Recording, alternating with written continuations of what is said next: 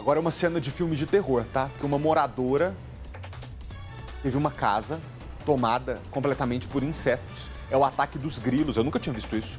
De acordo com especialistas, os insetos são aos milhares de grilos mormons que invadiram uma cidade inteira, bloqueando inclusive o acesso aos hospitais da região.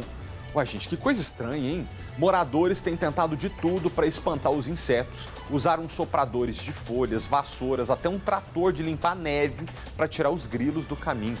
Meu Deus! Ainda segundo os estudiosos, essa espécie de grilo é comum na região e eles estão agora em fase migratória. Ó, quem tem, quem tem fobia de inseto tá trancado dentro de casa, não sai para nada, hein? E se brincar, o grilo tá achando um buraquinho ali na parede, tá entrando dentro da casa da pessoa.